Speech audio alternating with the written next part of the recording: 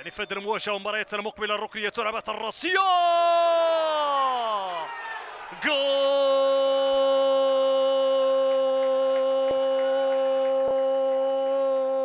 هذه خطيرة خطيرة خطيرة.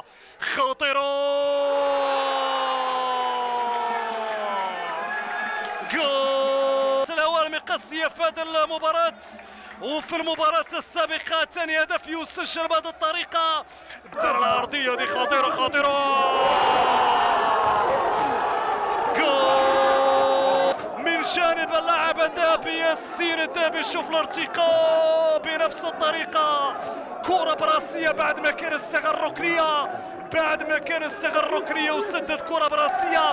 يعود مرة أخرى ياسين الذهبي برأسية ذهبية يسجل الهدف الثاني. جوج الواحد أنا ما أقول لكم بأنه الكوكب المراكشي يريد أن يباغت يسارع هذه المباراة.